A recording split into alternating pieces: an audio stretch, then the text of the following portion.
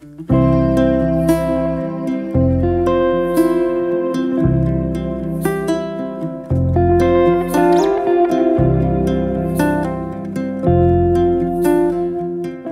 son Cristina Incio del Río, son arqueóloga, traballo no Instituto de Ciencias do Patrimonio do CSIC e hoxe estamos aquí nos bosques de Silva Escura, na parroquia de Madalena de Montes, eh, no Concello de Forcarei, en Pontevedra. Estamos realizando aquí unha intervención arqueolóxica porque, bueno, sabemos pola documentación histórica da existencia dunha aldea chamada Silva Oscura, que existiría dende, aparece na documentación dende o século XVII, e, entón, bueno, pola memoria oral non sabemos que este lugar se chama Silva Escura, entón viñemos aquí a ver se efectivamente pois, pois existía, estaba esta aldea. E, bueno, resultou que sí, que hai unhas, unhas casas, unhas estructuras de pedra, entón o ano pasado viñemos un equipo do, do INCIPIT, do CSIC,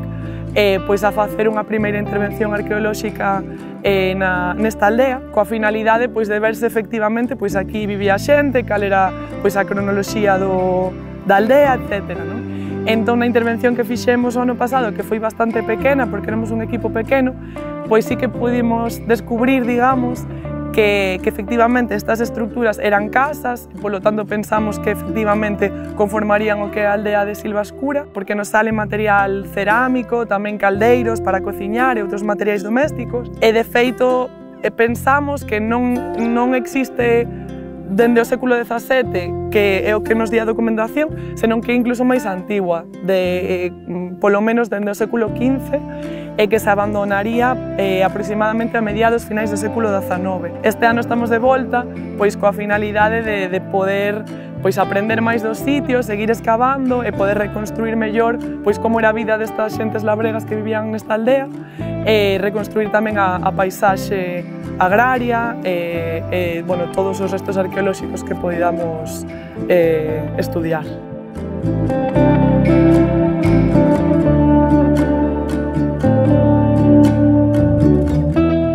Estamos aquí no xacemento de Silva Escura, o que vedes eh, pois son as únicas estructuras ou casas que quedan da antiga aldea e aquí foi onde, onde empezamos a excavar o ano pasado, onde fixemos bueno, tres excavacións en cada unha das estructuras, temos dúas estructuras, esta que é un, un patio aberto, en esta que tedes tras de min,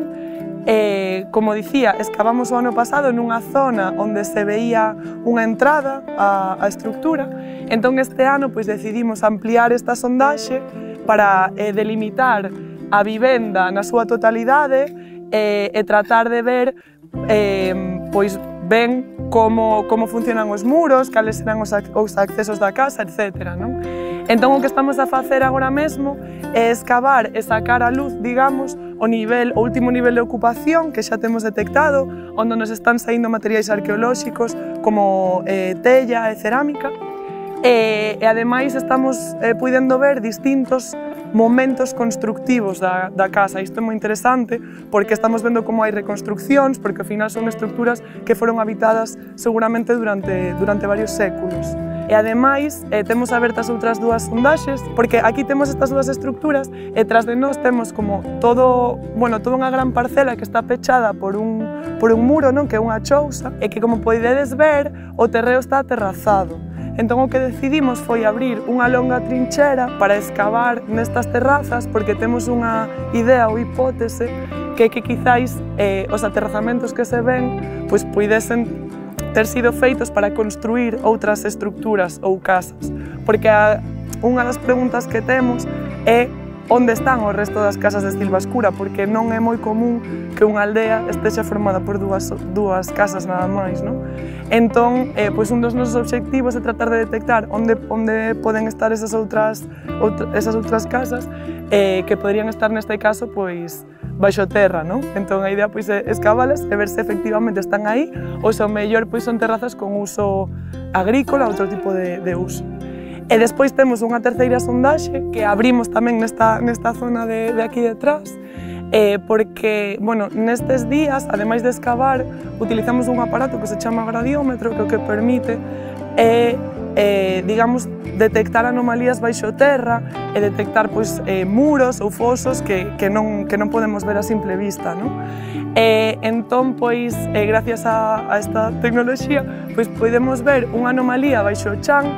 eh, que non é perceptible eh, simplemente vendo o terreno. E, entón, pois, decidimos tamén facer unha excavación aí pois, para ver que, que iso. Temos a idea de que quizáis pode ser un antigo camiño e é o que estamos empezando a excavar agora. Porque é importante tamén que non, non nos interesa soamente excavar dentro das casas, senón tratar de comprender como sería, digamos, toda a paisaxe da, da antiga aldea, non? Entón, ese é o sentido de excavar tanto dentro como fora, non? E, e, e comprender como, como paisaxe na súa totalidade, digamos.